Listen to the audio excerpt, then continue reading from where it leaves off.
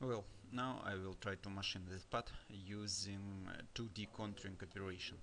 So to create it, create 2D contouring operation, uh, copy all parameters from the drive operation. After that, I need to define the curve for machining.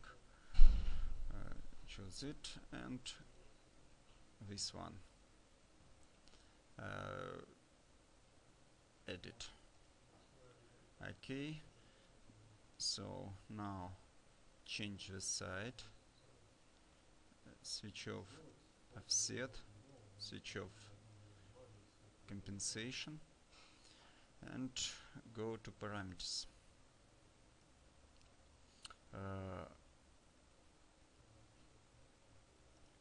first of all remove approach.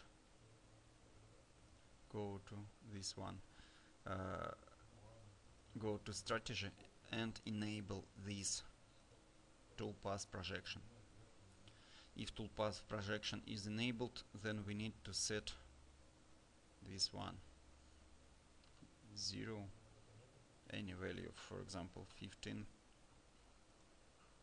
okay after that set lead in safe level for example 10 millimeters. After that strategy. Oh, in on the strategy set to uh, axis orientation mode this one. And in parameters set quantity 1 after that go to strategy again and enable these rough step parameters. This one step 1 millimeter. And zone is uh, this value. It is the distance uh, from the outer uh, circle to inner one. Well it seems that's all. And try to calculate the toolpath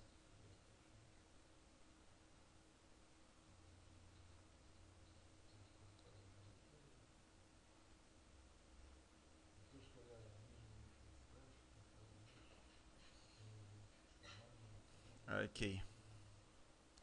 Look at the toolpath so now we can see the takeovers. Uh, links is not correct. To remove it define go to transition and define transition around workpiece zero value. Click OK. Recalculate the toolpath